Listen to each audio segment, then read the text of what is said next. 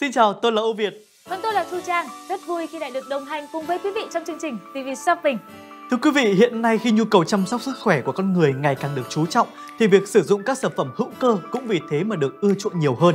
Đặc biệt, các sản phẩm hữu cơ được biết đến là an toàn, lành tính khi tiếp xúc trực tiếp tới sức khỏe của con người.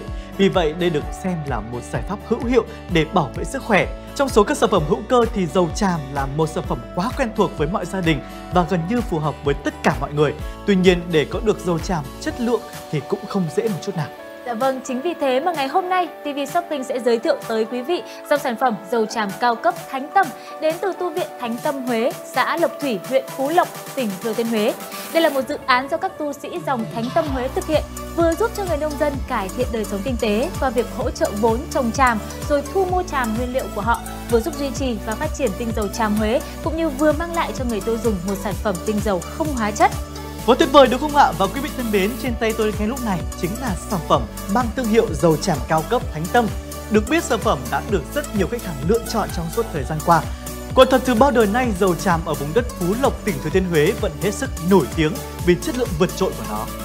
Vâng, rất là tuyệt vời thưa anh Ngô Việt. Tôi thì vừa ngửi uh, cái lọ tinh dầu tràm này xong và cảm thấy là mùi thơm trong chai tinh dầu này rất là dễ chịu ạ. Và khi mà tôi hít vào thì thấy ngay cảm giác là mũi họng được thông suốt, rất là tuyệt vời ạ.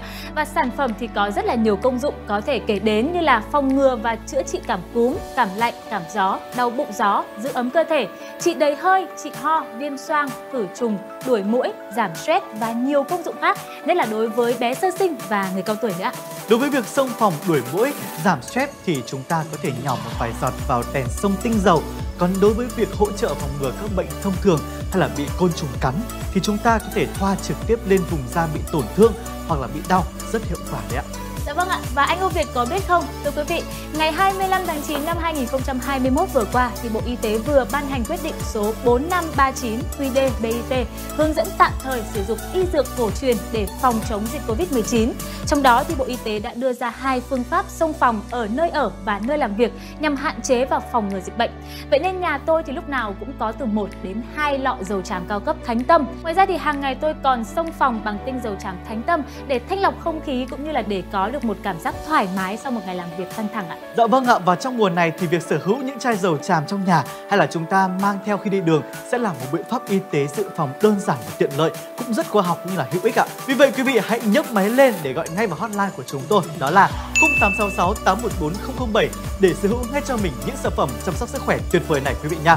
Ngoài ra quý vị cũng có thể mua sản phẩm tại website hvtt.vn hoặc là qua fanpage dầu tràm cao cấp Thánh Tâm ạ. Dạ vâng, vậy là thời lượng của chương trình ngày hôm nay đến đây là kết thúc. Ngô Việt và Thu Trang xin được gửi lời chào tạm biệt tại đây. Chúc quý vị luôn có thật nhiều sức khỏe và đừng quên gặp lại chúng tôi trong các số phát sóng tiếp theo của TV Shopping quý vị nhé. Còn bây giờ, xin, xin chào và hẹn gặp lại. lại.